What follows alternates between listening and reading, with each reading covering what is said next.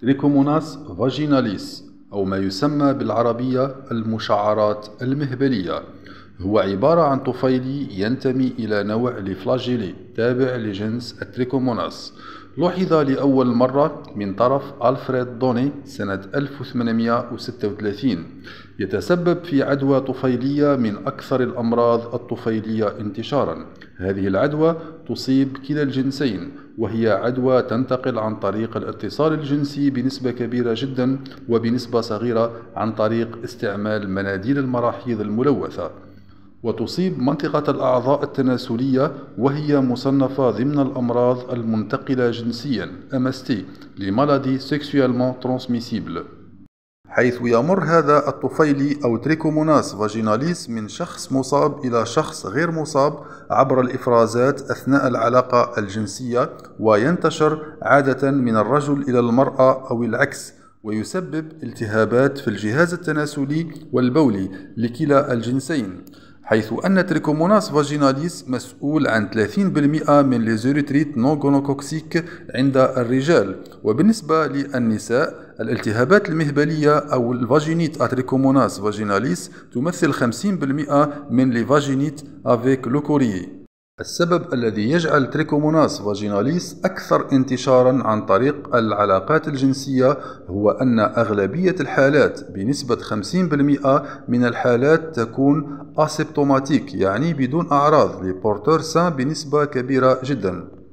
يمكن أن يتواجد Trichomonas vaginalis عند الشخص المصاب بالنسبة للمرأة في التجويف المهبلي la cavité vaginale و l'urètre وفي la vessie وأيضا في la glande Skene و Bartholin وبالنسبة للرجال يتواجد في l'urètre وفي le col du gland du pénis وأيضا في البروستات و la vésicule séminale يتم التعرف والكشف عن ال Trichomonas vaginalis مخبريا عن طريق شكله وطريقة حركته بواسطة ال flagelle الخاصة به. كما تلاحظون في هذا الفيديو طريقة حركة ال Trichomonas vaginalis وشكله الدائري أو البيضاوي.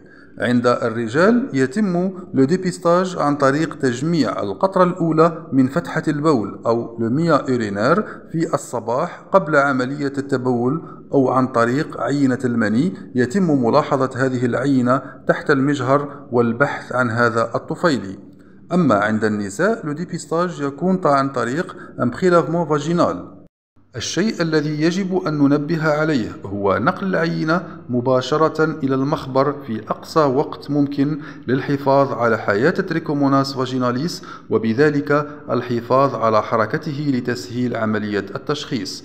وعند وصوله إلى المخبر نقوم بإضافة l'eau physiologique préchauffée 37 degrés وهي درجة حرارة الجسم إلى العينة كذلك للحفاظ على حركة ال Trichomonas vaginalis وتفادي موته لتسهيل عملية التشخيص والكشف عليه بسهولة.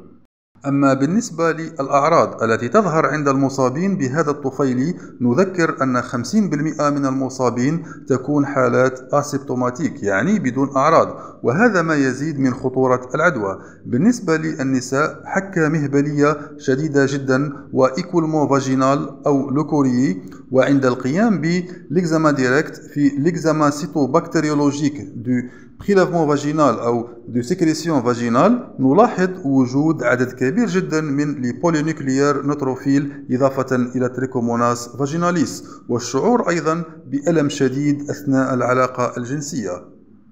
أما الأعراض عند الرجال بنسبة 90% هي asymptomatiques يعني بدون أعراض. هذا ما يجعل الكشف عن هذا الطفيلي صعب جدا عند الرجال لكن في بعض الأحيان يكون مصاحب بصعوبة في التبول مع وجود ألم والتهاب في مخرج البول لكن الطبيب هو المسؤول الأول عن التشخيص بالاستعانة طبعا بالتحاليل المخبرية.